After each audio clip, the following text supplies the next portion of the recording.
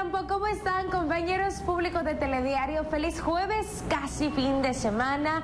¿Tienen planes, actividades? Hay que echarle un vistazo a las condiciones meteorológicas y es que tendremos algunos cambios, sobre todo llegando el fin de semana. La humedad que se impulsa desde el Golfo de México aporta precipitaciones.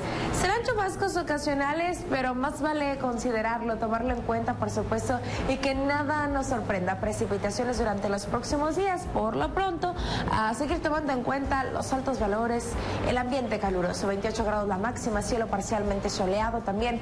Brumoso el ambiente, empezamos a sentir la humedad que se combina con las altas temperaturas, sentimos ese bochorno y también nos deshidratamos con mayor facilidad. Hay que cuidarnos. Para esta noche 18 grados y pocas nubes, mañana viernes parcialmente soleado, mínima de 12, máxima de 28 grados, la probabilidad de lluvia en un 20%. El sábado y el domingo chubascos, precipitaciones, sobre todo durante la tarde.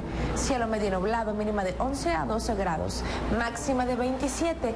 Mañanas frías, tardes todavía entre cálidas, algo calurosas, con humedad, con más humedad y ese toque de precipitaciones. La lluvia es bienvenida a la Ciudad de México. Esperamos que esto al menos nos acompañe durante el sábado y el próximo domingo. Por favor, considérelo. En Ecatepec, en Texcoco, en Chalco, en Atizapán, Tlalnepantla, para Naucalpan, cielo parcialmente soleado, las máximas 26, 28 grados, también destacando este ambiente caluroso para el Estado de México hoy, todavía con estas altas temperaturas, y en Cuernavaca, bueno, no se diga, 33 grados, cielo soleado, Querétaro 29, parcialmente soleado, Morelia, Puebla, 26 a 28, altas temperaturas, nubosidad parcial.